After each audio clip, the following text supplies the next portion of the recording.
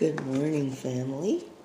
On this beautiful Saturday morning, I just wanted to come to you. And when I say I, I mean Roberta Evans, Mohambe, aka Mohambe.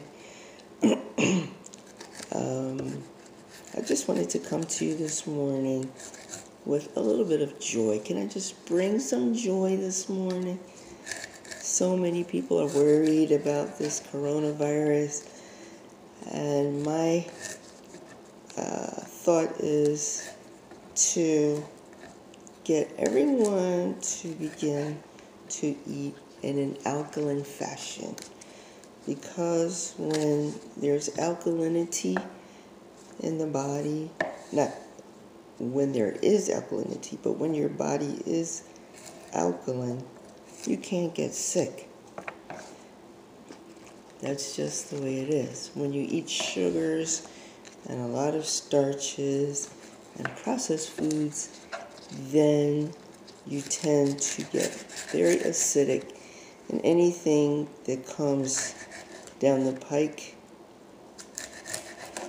is something that you can basically get, can be communicated to you. So, just so that you know, I'm a holistic nutrition wellness coach, and I do have diabetes type 1. So, what we're doing is really making sure that we get an alkaline meal three times a day. All this produce that I'm chopping up here is organic. Organic food has electricity. If anyone has uh, listened to Dr. Sebi, you know that electricity is what we need in our system. So, this time of coronavirus, if you're not sick, I hope you're not sick. Go out, get yourself some organic veggies and begin to do some raw food eating. Of course, I will just say that it will clean you out. So make sure you have the time to do that. And so many people do because things are being closed and events are being canceled. So right now I'm chopping up some kale. I'll show you. Sorry about that. Some kale red kale, lacinato kale. Got that. And then we're going to do some chard. And all of this is organic. Here we have some um, chopped up garlic, two cloves, one large um, let's say large slices of red onion. Uh, let's see if we can get you a picture of that. here we go. And one large radish right here. Let's see. There we go. One large radish.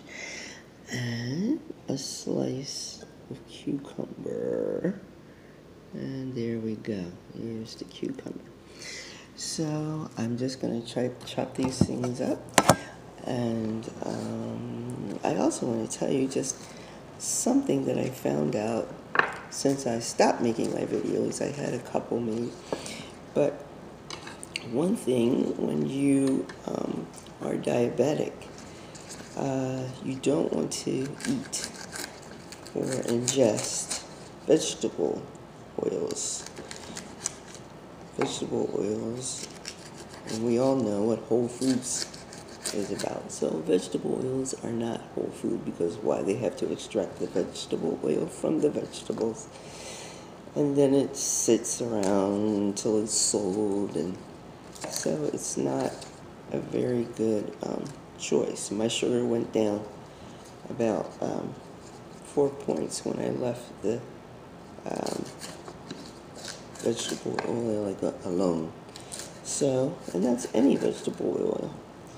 Um, what I'm using now, that really helps with my sugar is sauerkraut. And sauerkraut has no sugar, no carbs, and it really gives the salad a nice tangy taste. So I'm going to just close down for right now, finish chopping this up, and of course I'll come back and let you see what it looks like.